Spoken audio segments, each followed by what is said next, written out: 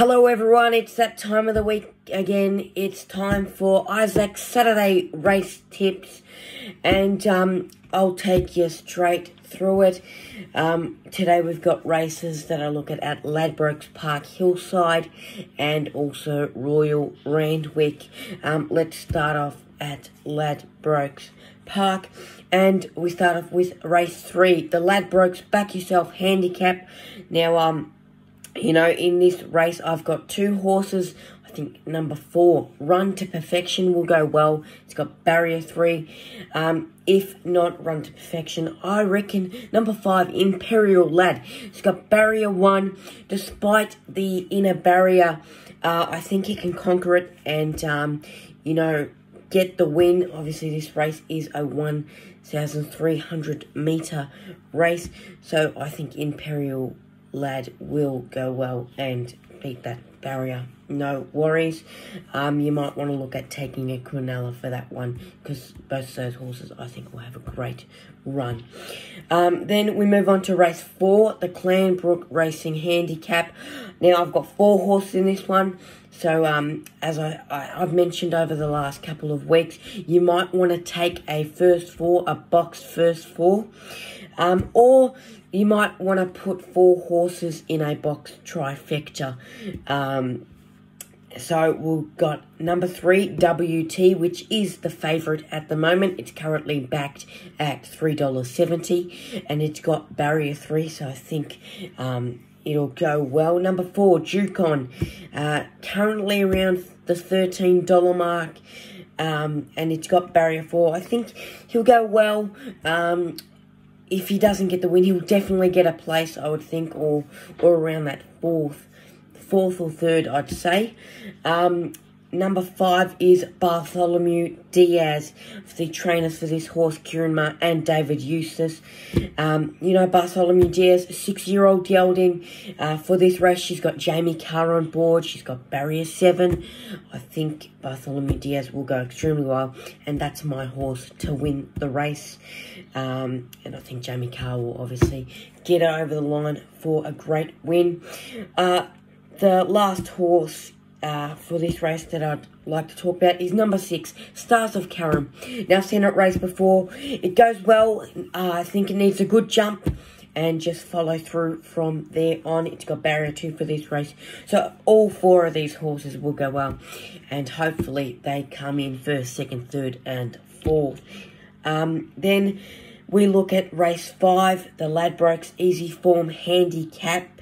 Um, I've got number seven, Galgani. It's got Barry 8. Now, this horse, she's raced over the past couple of weeks. Um, I think there were a few at Flemington and Caulfield. She's gone well. Um, I think she'll go well in this race for at least a place. Uh, I think she'll get at least second. The horse that I want to see get up and win is number 10, Cansino. It's got Barrier 6 and Lachie Kings on board for this one. I think Lachie um, will have a have a great ride and um, get Cancino over the line for a nice win. Race 6 is the Tile Importer Handicap race. I've got number 3, Still Be Friends.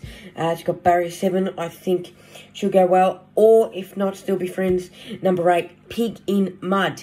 Um, it's got Barrier 4, Jamie Kah on board for yet another horse uh, for the day. And I think Pig in Mud will get the win. Uh, I think it'll have a strong finish. Uh, you know, there's a few other horses in this race which can uh, put a bit of a fight, put up a bit of a fight and um, maybe challenge Pig in Mud. But I'm going with my gut on this one and sticking with it. So that's number three and number eight for race six. Um, and that's it from me for the Ladbrokes Park Hillside. Let's move on to Royal Randwick, where we look at race four, which is um, going to be a great race. I think you've got two good horses that are, I love, uh, which are number three, I'm telling you, who's got barrier two. Um, it's currently backed at $13, so it's got a good price on him. Um, or if not, I'm telling you, I'd go with number six, Valaquenta, got barrier three, Kerrin McEvoy on board for this one. He's currently backed at $6 in the market. Now, both of these horses um, are geldings, Uh, obviously, I'm telling you much older. He's seven years old, and Valaquenta's just a three-year-old. But um, you know, I'm if I needed to choose a winner, I'd go with Valaquenta. Um, young, more young uh, in age, got more speed, but I wouldn't, um, you know, go against. I'm telling you, I'd go with him actually. He's a wise horse, um, knows when to go, and uh, both these horses are going to go well. Hopefully, they both come in. Uh, the last race for the race tips is race 8, the Carrington Stakes. Number 1, Quackerjack. It's hard to go past him. Barrier 10. Now he's got the wide barrier, but he can conquer it, I believe. Uh, strong horse, and um, hopefully he can get over the line. Uh, if not, Quackerjack, number three, order again, New Zealand horse, barrier four, go extremely well. If I needed to choose a winner, I'd go with order again, uh, just because of the, the um, barrier. It's got a better barrier than, obviously, Quackerjack. And uh, it's going to be a great race, this one. So um, there's my picks, guys, and tips for the day. Hope you got something out of it. If you are taking a punt, um, all the best to you. Good luck, and as always, gamble responsibly.